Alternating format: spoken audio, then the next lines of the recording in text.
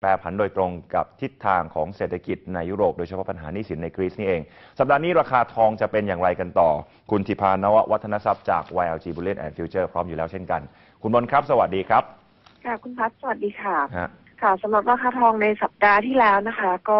ค่อนข้างผันผวนเลยอย่างที่คุณพัฒน์ว่าก็คือตามตาม ในทิศทางของค่าเงินยูโรเองนะคะที่มีการย่อตัวลงมา แล้วก็โดยรวมเนี่ยถือว่ายูโรอ่อนค่าที่สุดในรอบ 22 เดือนที่ผ่านมาก็คือเกือบเกือบสองสองปีอะนะคะครับแต่ว่าตัวราคาทองเองมีการปรับตัวลงมา แต่ว่าไม่มากนักนะคะ ส่วนราคาน้ำมันเองก็ปรับตัวลดลงไปค่อนข้างมากทีเดียวนะคะ ถ้าเทียบจากต้นเดือนเนี่ยลงมาแล้วถึงประมาณ 13เปอร์เซ็นได้ แต่ว่าถ้าดูโดยรวมของทองคำเองใน ในเดือนนี้ที่ผ่านมา ตอนนี้ก็ปรับตัวลดลงมาอยู่ที่ประมาณ5เปอร์เซ็นกว่าๆได้นะคะ จะเห็นได้ว่าเริ่มมีแรงซื้อกลับมาบ้างด้วยเหมือนกัน ดังนั้นเรามองว่ากรอบในสัปดาห์นี้เนี่ยราคาทองคำเอง ก็น่าจะยังอยู่ในกรอบระหว่างประมาณ 1,550 เหรียญจนถึง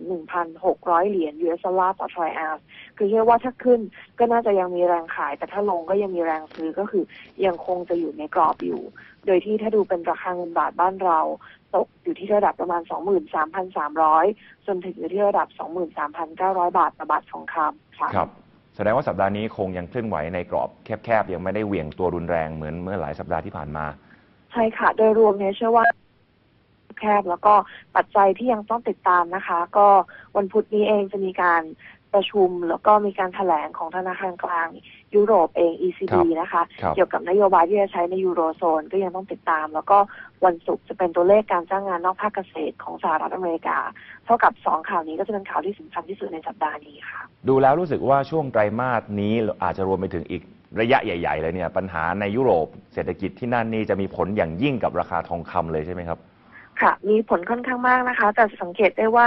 เอ่อค่าเงินยูโรเองเนี่ยปรับตัวลดลงมาค่อนข้างมาก แต่ครับราคาทองคำเองก็ปรับลดลงตาม แต่ว่าไม่มากเท่ากับสัดส่วนที่ค่าเงินยูโรมีการปรับตัวลดลงมานะคะอืมจะจะต่างกันกับช่วงต้นปีที่ถ้าสัดส่วนที่ยูโรลงเท่าไหร่ราคาทองคำก็จะลงมากเท่านั้น แต่ตอนนี้ก็คือลงบ้างแต่ไม่มากนักค่ะอ๋อ แล้วก็โดยรวมเนี่ยตอนนี้เองก็